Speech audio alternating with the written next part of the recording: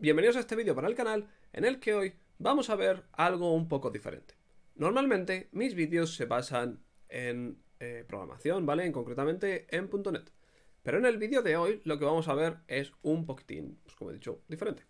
En este caso vamos a ver la infraestructura como código. He decidido hacer este vídeo, el de infraestructura como código, porque los que me seguís sabéis que quiero hacer o quiero empezar una serie de vídeos donde hacemos una aplicación en la nube, ¿vale? Ya sea en AWS o en Azure, pero tiene que ser en la nube. Y como tal, hay que explotar estas ventajas de la nube, ¿vale? Una de sus mayores ventajas es la infraestructura como código. Pero ¿qué es la infraestructura como código? Es una forma o técnica que nos permite proveer nuestros servidores, bueno, nuestra configuración de arquitectura, infraestructura de nuestros servidores a través de software, ¿vale? En este caso, código. Con el objetivo de conseguir una consistencia en los resultados, ¿vale? Que vamos a esperar. Cuando decimos como código, ¿qué queremos decir? ¿Vale? Pues decimos literalmente en código. Esto quiere decir que tú vas a escribir cada, eh, cada pieza de configuración necesaria para configurar eh, estos servicios, ¿vale? Que tú necesitas. Por ejemplo, un caso, ¿vale? Un caso que se ve más fácil. Tú tienes un servicio en Azure o AWS o Google Cloud, da igual, todos funcionan, ¿vale? Un servicio en la nube.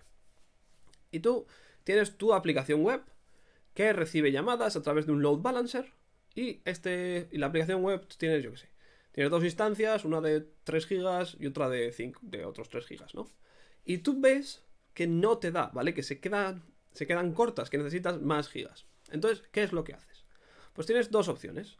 La primera, como estás en AWS, es te logueas en AWS y vas a cada una de las instancias y subes la memoria que, tienen eh, alocada para ellas, ¿vale? A lo mejor les pones 5 gigas a cada una.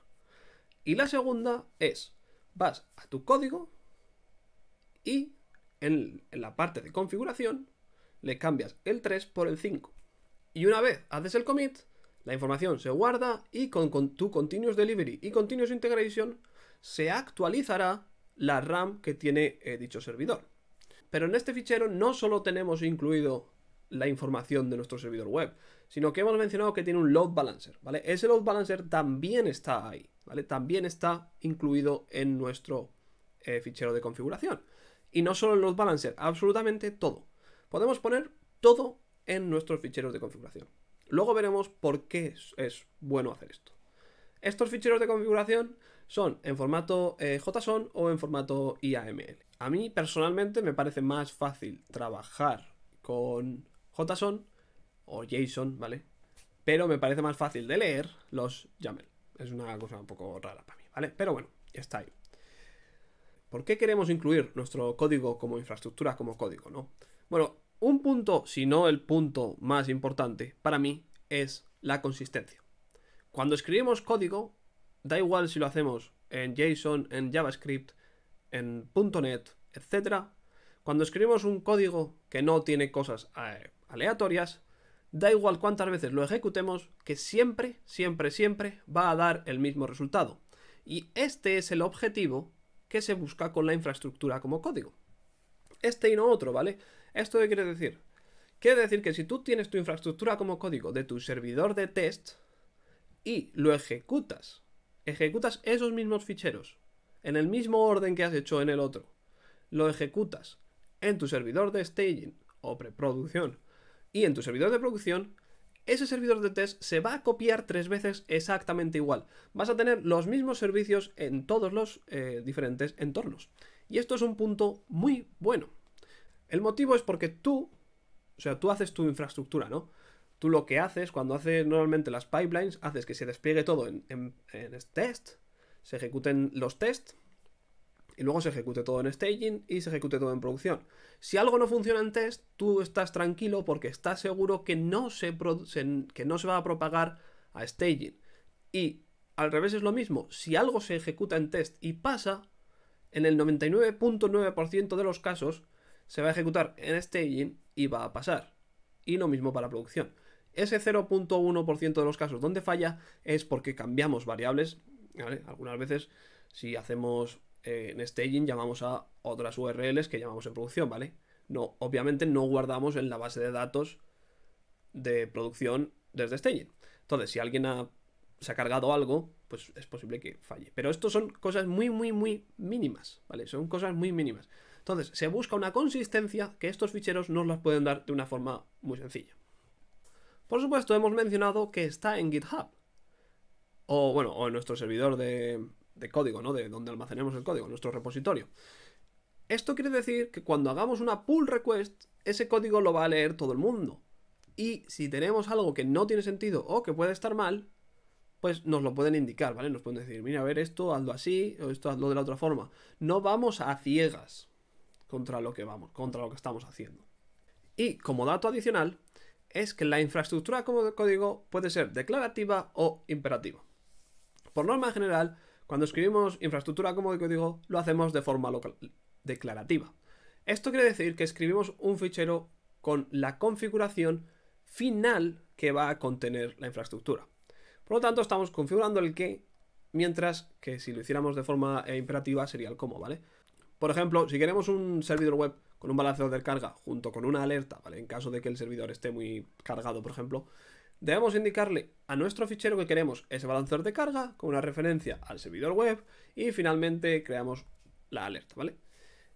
Al escribirlo de forma declarativa, el software, o en este caso eh, AWS, Azure, etc., ejecuta los comandos por detrás que tenga que ejecutar para asegurarse que la información que tú le has dado se lleva a cabo, ¿vale? Para asegurarse de que este tío quiere un balanceador de carga que haga referencia con este servidor web y a su vez quiere una alerta con el servidor web, ¿vale? Esto lo hace todo por detrás eh, eh, Amazon, ¿vale? O Azure.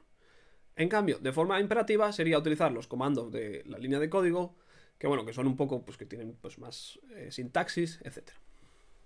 Como he dicho hace un momento, uno de los puntos fuertes, si no el, que más, o de los que más, de la infraestructura como de código, es que es consistente en todos nuestros entornos, ¿vale? En todos nuestros entornos, cuando lo ejecutamos, se, eh, se ejecuta de la misma forma. Pero, ¿qué pasa si lo que estamos haciendo es actualizar? Como hemos dicho antes, hemos pasado de 3 GB de RAM a 5. Pero en ese fichero donde tenemos nuestra página web, no tenemos únicamente la web. Tenemos el balanceador de carga, tenemos las, alertas y podemos tenerlo todo en un fichero si queremos. ¿Vale? Si queremos tenerlo todo en un fichero, podemos. ¿Qué? Entonces, ¿qué es lo que pasa con todos estos servicios que no estamos cambiando? Bueno, este término en inglés es idempotence que yo lo he buscado en el traductor y lo traduce como variabilidad. Pero no estoy muy seguro, ¿vale? Idempotence es una palabra o técnica que consiste en indicar que solo aquella información que cambia es vuelta a ejecutar. Por ejemplo, en este caso únicamente hemos actualizado nuestros eh, gigas de RAM. Entonces, solo ese servidor web y la parte de los gigas de RAM es la que se va a ejecutar y se va a actualizar. El resto del fichero te va a indicar que no hay cambios. De hecho, esto es importante. Si tú tienes 3 GB de RAM y manualmente vas y cambias y pones 5, tú si, em, si haces el commit o haces otro commit ¿no? y se ejecuta la pipeline entera otra vez, va a seguir teniendo 3. No va a bajar hacia abajo, se va a mantener en 5. Pero esto es malo también, ¿vale? Porque puede ser que lo hayas bajado para hacer una prueba a 2 manualmente y al volver a hacer el commit no se pone a 3, sino que sigue en 2. ¿vale? Entonces hay que tener cuidado. Yo personalmente, si tenéis infraestructura como código, no cambiaría nada a mano, absolutamente nada, porque lo único que trae son problemas, y lo digo por experiencia. Y finalmente vamos a ver qué beneficios nos puede traer la infraestructura como código. Uno muy importante, bueno, aparte de todos estos han sido beneficios, ¿vale? Pero beneficios como tal es que nos permite automatizar los despliegues.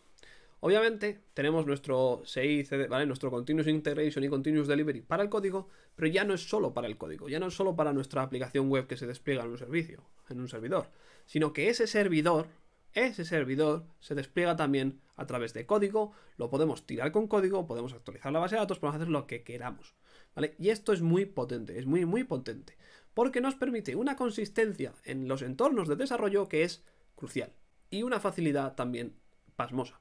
Porque como he dicho, tú ejecutas los ficheros contra cualquier entorno y se ejecutan en minutos. Bueno, pueden tardar mucho, ¿no? Pero se ejecutan solos, que tú no tienes que hacer nada, y haces así y dices, ah, ya funciona, ya funciona todo. Y esto es una maravilla. Bueno, además de esto, eh, no tenemos, por ejemplo, no hay que escribir cada... ¿Cómo decirlo? Cada punto, ¿vale? Cada punto como tal no hay que escribirlo 20 veces.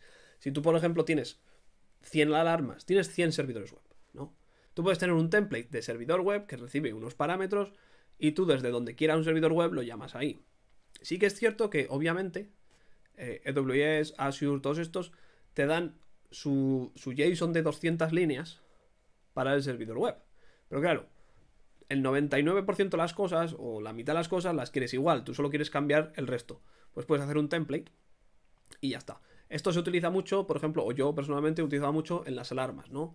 Yo tenía un template que era en plan, hacemos un servidor web y, y en ese mismo template del servidor web llamamos a las alarmas que queremos crear, porque al final siempre haces las mismas. Siempre haces que si el CPU, que si la memoria, que si se ha caído el, el, el Herbit y, y 4 o 5 más, ¿vale? Que son siempre claves que haces siempre. Entonces todas esas las puedes automatizar en un template. Esto también es bastante importante. Y como nota final, la arquitectura queda documentada, ¿vale? Tener toda la infraestructura como de código es lo mismo que decir que tienes toda la infraestructura eh, automáticamente documentada. Lo cual es un gran paso porque muchos sistemas no tienen documentación absolutamente de nada de la infraestructura y es un absoluto jaleo. Y bueno, esto ha sido en el vídeo de hoy una pequeña introducción a qué es la infraestructura como código. Espero que os haya gustado, ¿vale? Y si os ha, si os ha gustado, por supuesto, ya sabéis, un buen like, suscribiros y compartirlo. Y bueno, cualquier duda, pues lo ponéis abajo en los comentarios. Eh, me podéis dejar abajo en los comentarios. En Twitter, ¿vale? Ya sabéis que en Twitter... Ah, mira, ahora no tengo lo del Twitter abajo, ¿vale? También dejar enlazado el Twitter abajo. Y está el blog ahí también, el enlace al blog. Y bueno, eso ha sido todo por hoy. Un saludo y adiós.